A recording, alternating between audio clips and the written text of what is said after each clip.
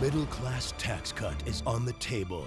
But Tea Party House Republicans are holding the middle class hostage to get more tax cuts for millionaires. This holiday season, if you make only one phone call, send only one email, tell Congressman John Kline, don't drive us off the cliff.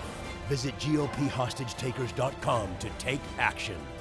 The Democratic Congressional Campaign Committee is responsible for the content of this advertising.